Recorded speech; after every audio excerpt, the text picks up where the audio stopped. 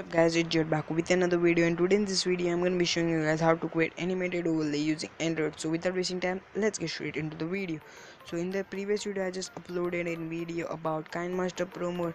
In that video I just aim about 35 likes and you guys are really awesome and you just 80 plus like to that video. So keep supporting this like this, it encourages me to make more and more video. So let's get started with the video. Before getting started with this video, if you can hit 45 like to this video, it will be awesome. Let's get started with the video. So first off open KineMaster and create an empty project and just import your own background. I'll be i'll be using this background. And now just import this media. The link will be given in the description for all the stuff used in this video after that just drag down and just click on chroma key and just enable it. And now just choose the same just choose the key color of your background. And it, in our condition it is black. So just choose black and then just enable it and just adjust adjust the color according to your own.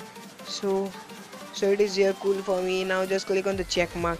After that just click on the layer and just click on the media and just choose white background and just place it like this where you want to place your android. I will be placing over the left side so i will be just putting over here and just click on the check mark.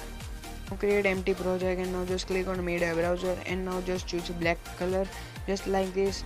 After that just click on this layer and then just click on the media and just choose this video. I'll be giving the link will be available and then just place it where you want and now just click on the background layer and just make sure to change it to your color. I will be changing it to the blue color. Just like this it will be more easier to use chroma key effect on the blue color as compared to other color.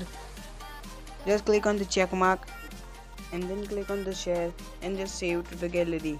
Just choose any any any definition. I'll be going to the, the hd definition and then just export it after that just open the previous project and now just delete this white image and just click on the media and just click on the layer and just choose the video that we exported. Go down and just click on the chroma key and just click on enable and just choose the key color to the blue color and just adjust this color content. Just click on the check mark. After that just create an empty project and now just click on the media and just choose this black background. And after that just click on the layer and just go to the media option and then just select text logo just like this. And now just click on the media black media and then just select this color to the blue color. And now click on the layers and just click on the media and just import this media. The link will be available in the description after that just click on the chroma key and just click on enable. And now just choose the key color to black.